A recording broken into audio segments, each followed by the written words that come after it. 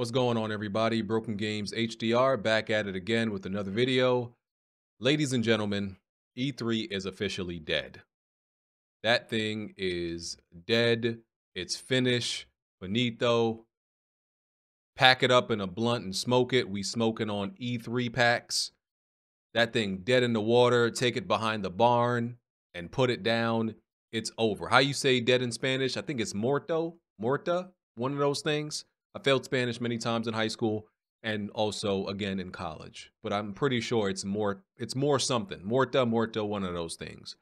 But yeah, it's over for this. Um the ESA, you know, Entertainment um, Software Association, who runs E3 every every year annually, um, have announced once again that both the digital and and uh, physical events for E3 2023 are canceled.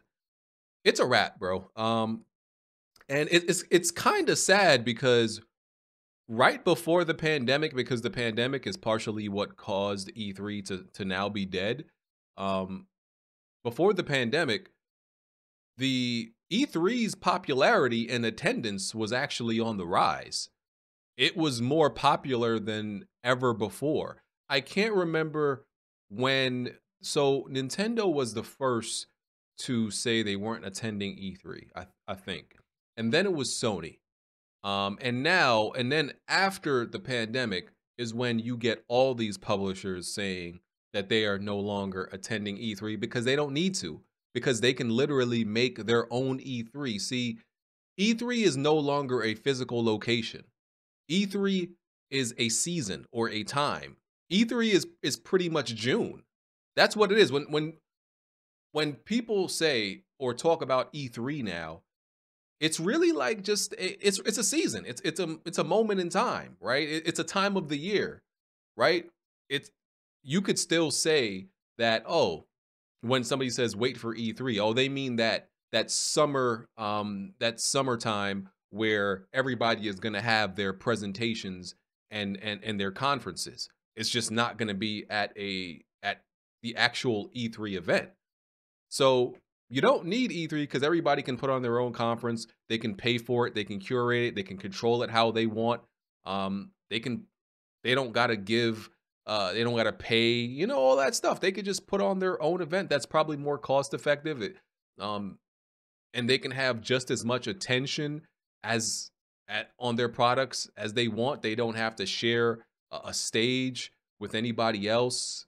Um, and and and you know, share any days with anybody else, put it on their put it on their own platforms and all that stuff. So there's mm-hmm. really no need for them to rely on E3 anymore, and they realized it, and that's why all these uh, publishers have their own um, their own shows that they do throughout the year.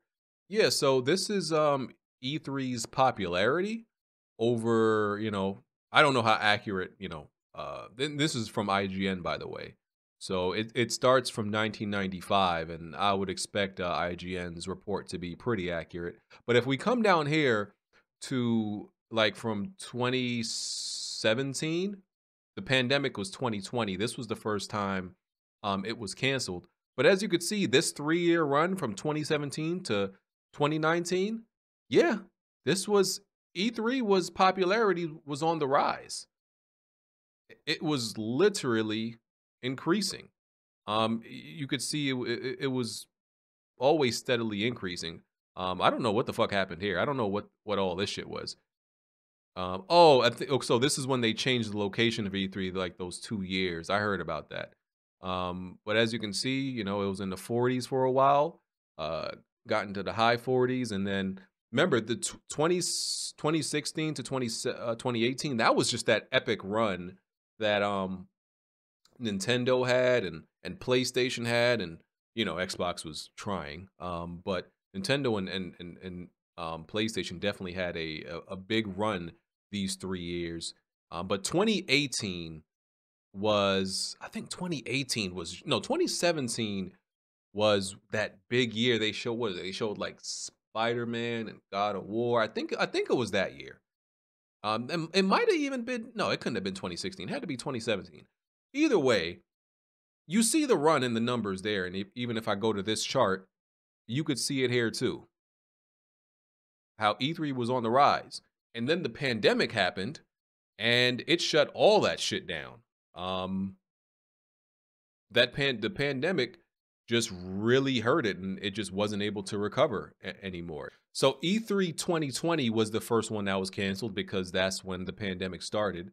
And then E3 2021 that was online. It was digital only, not very exciting.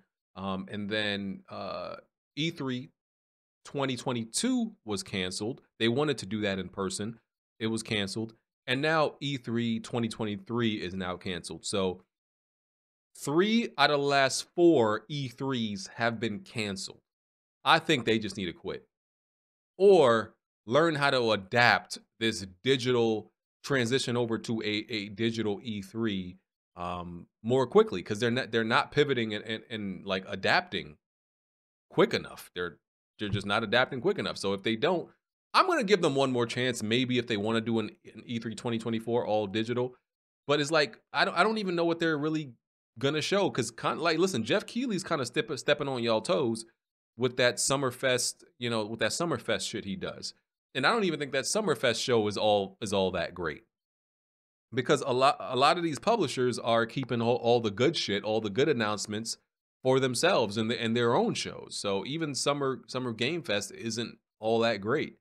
So like I said, E3 is is just going to be a time and, and, a season that people um, get excited for more than an actual uh, event. And I went to three of the E3s. I went to 2016 to 2018. Um, it might have been 2015 to 2018, actually. Yeah, I don't think I went 2019. It was it was probably 2015 to 2018 I went. And listen, the, being there is great. Being there is great for the social interaction to meet meet up with people that you that you know and you game game with just to like you know hang out chill talk to them talk games and, and all that shit see people that like i said you may be in discord with or play games with is cool for that it's it's not the best thing um to go for to actually cover games that's the that's the irony of it if you want to actually cover games and um see all the announcements you it's actually easier to do that from the comfort of, of your home at your computer um but the conferences were the biggest deal. Like s- sitting in those big ass audiences at Xboxes, PlayStation, and Nintendo conferences and seeing the announcements right in front of you in real time. Yeah, there's there's nothing like it. Like being at home is is not the same thing. Like the the energy and and and just the excitement while being there, you you really can't match it being home. But I'm not I'm not mad at this. Like I would probably never go to another E3 again, even if it did uh even even if they did hold another one in in person. Um I would probably never go again. I enjoyed the experience. Even if like Sony, Microsoft, and Nintendo said, hey, we're we're going, we're we're gonna go to E3 again, which would never happen. I still wouldn't go. It's something that like, yeah, I enjoyed for those like three years, but it's it's not something I want again. Meeting up with people is cool but I'm good. I'm good at just at being home. It was a cool event during that time, but uh, I, I'm I'm great sitting at this chair and reacting and just reacting and seeing all the games like this. Because even at even when you're at E3, even though that's the chance to play some games early, you really don't get to get to play that many games because the lines are long as shit. You could wait you let's say if you're at if you're at the the the conference center like seven hours for that day. Bro, you could easily wait two hours to play one game, depending on like how bad people. Like I, I think I remember when Division, I think Division came out was about to come out one of those years.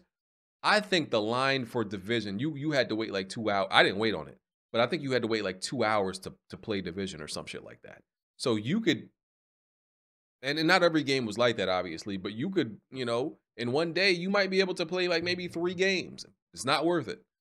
So, yeah. Those are my thoughts. Let me know what y'all think. Hit the like button. Um, follow me on Twitter if you're not, and uh, hit the notification bell. All right, I'll catch y'all on the next video. I'm out of here. Peace.